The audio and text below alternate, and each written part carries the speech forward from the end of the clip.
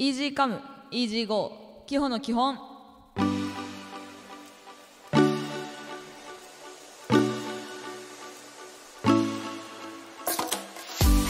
こんばんは。パーソナリティのきほです。この番組は今までで両手でギリ数えられるほどしか本を読み終えたことのない私きほが少しずつ本を読み進めていくリアル読書感想文ラジオです。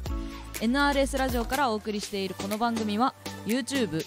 ポッドキャスト、Spotify でお聞きいただけます。皆様のそれぞれお好きな、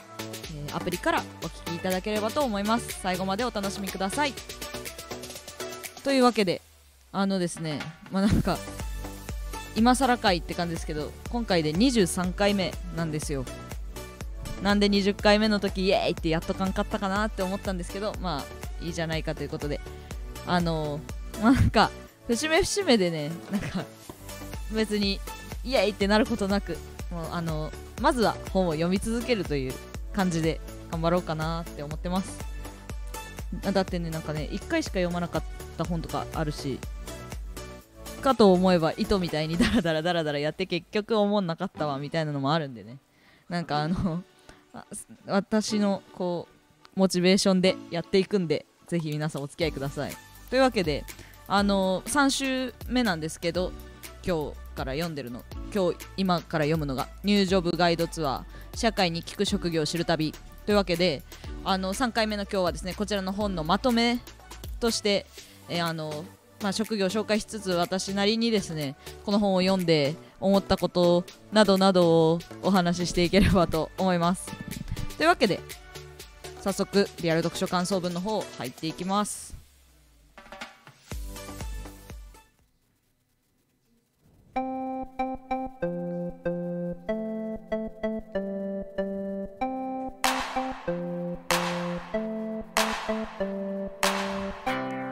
このコーナーは少しだけ本が苦手なキホが少しだけ選んだ本を読み少しも飾らない感想を発信する少しも無理しないコーナーです。題してリアル読書感想文。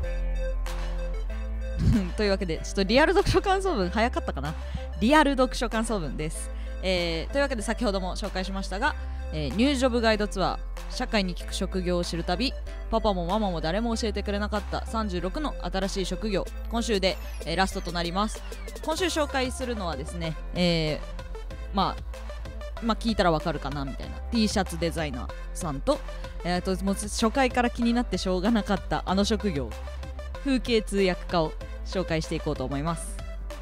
じゃあまずですねじゃあ T シャツデザイナーさんのお話の方から紹介していきます、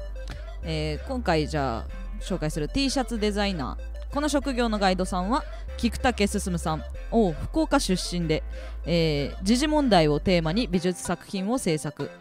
で、えー T シャツがマスコミに取り上げられ広く知られることになり、まあ、T シャツを販売したりとかデザインしたりとかされてます。あのちょっとデザイナーさん2回目かな？遊具デザイナーさんとかもありましたけどまあそんな感じで読もうかなと思います。じゃあ職業名 T シャツデザイナーですね。で一般的にどんなことをする職業ですかという問いには、まあ、T シャツの製造販売や、えー時事問題やローカルパロディをテーマにした図案をデザインしそれを T シャツにシルクスクリーンで印刷しています。ということでシルクスクリーンっていうのがですねあの正式な名称はシルクスクリーンプロセスプリンティングというわけであの型紙とかですね布目を通してインクをすり取ることから形式名は、えーかこ孔版。本来はポスターなどの印刷技術でありへえ。60年代にアンディ・ウォーホルやウォーホルや横尾忠則などのポップアーティストたちによってアートの手法へと発達。というわけでシルクスクリーンですね。あれですね。あの伊佐山直也さんが、えっと祭り中川であのなんかワークショップ的な感じでされてたのと一緒ですかね。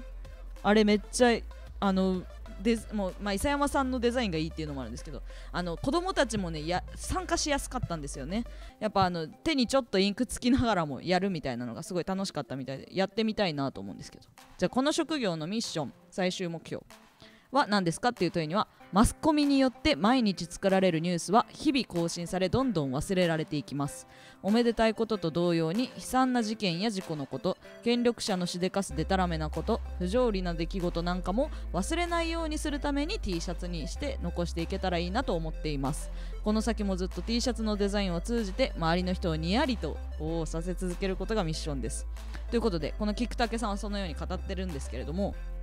これ読んで私もめっちゃ思ったんですけど時事ネタ T ってめっちゃあの、まあ、たまに街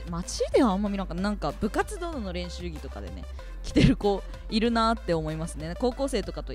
レッスンしてて見たりとかなんか、まあ、それこそパロディとかもそうなんですけどなんか忘れないようにするために、まあ、日記とか本にするんじゃなくてあえて T シャツにするみたいな。日常目にするものにするっていうのはあなんか忘れてほしそれだけ忘れてほしくないことがあるみたいなことなのでそれってあれだなと思ってあのバンド T とかも一緒なんかまあ全く一緒というわけじゃないんですけどバンド T とかライブ、えーと、フェスとかであの販売する T シャツとかもアーティストの名前がしっかり載ってたりとかツアーのロゴがめっちゃ大きく載ってたりとかするんですけどバンドの人たちもなんか忘れてほしくないなっていう思いで T シャツを作ってるのか一緒,、まあ、一緒に楽しもうはもちろんあると思うんですけど、まあ、何年先もなんかオークションとかになって出てくるじゃないですか。後々ああいうのって気づいたらめっちゃ高値になったりとか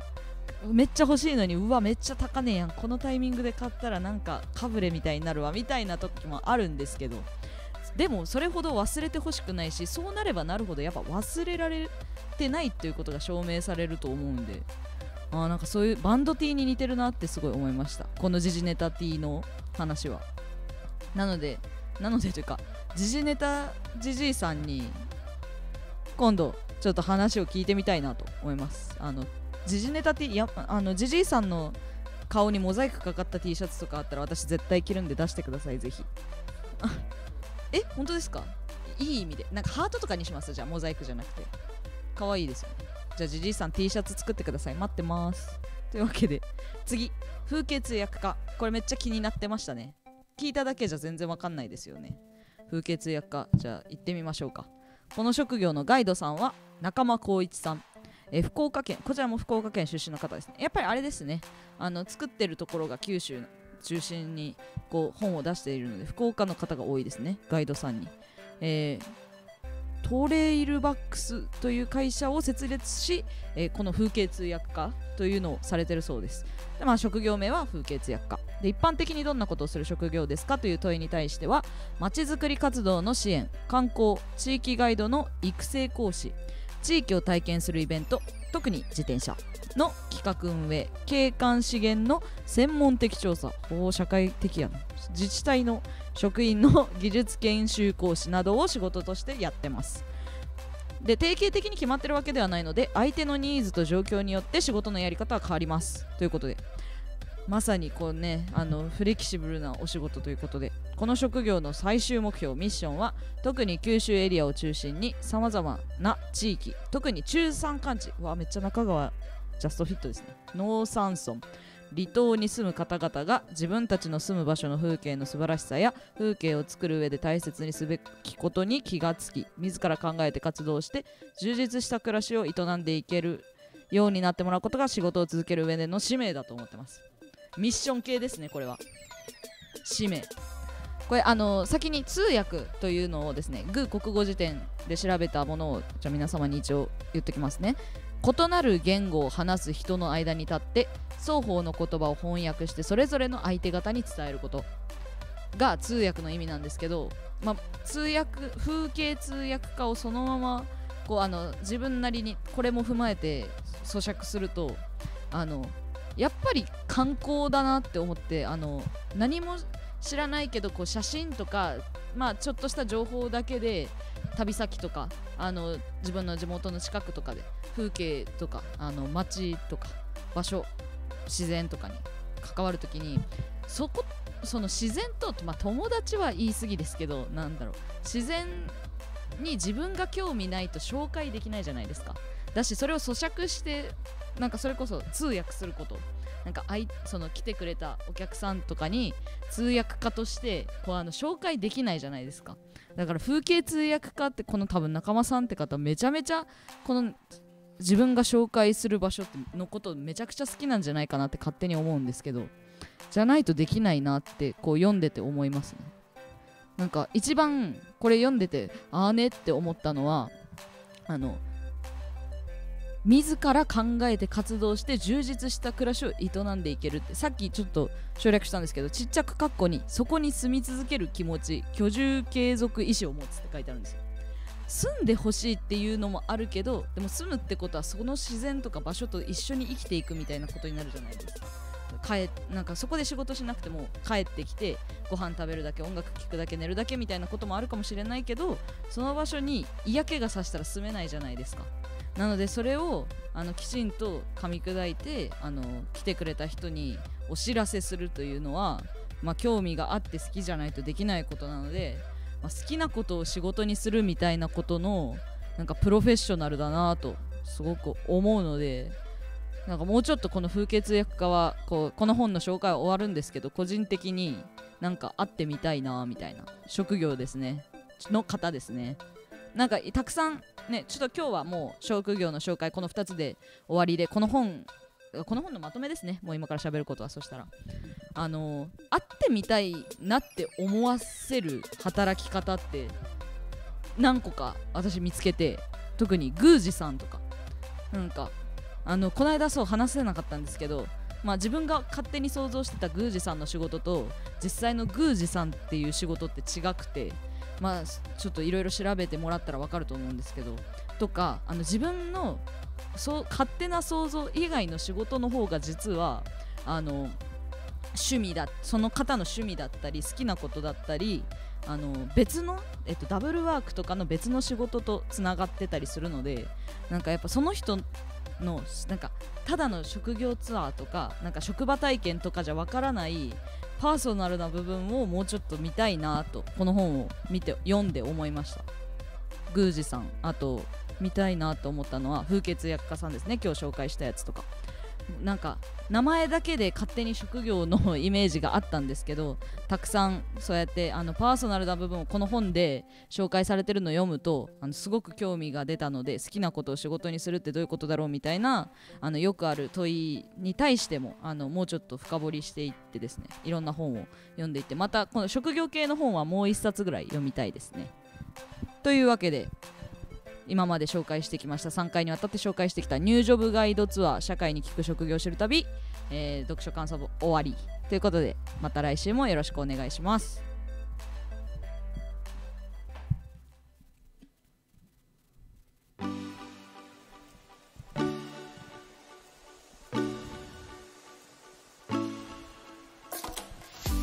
けで本日もお付き合いいただきありがとうございました。今週はまとめでしたのでね10分より少し長めですがぜひあの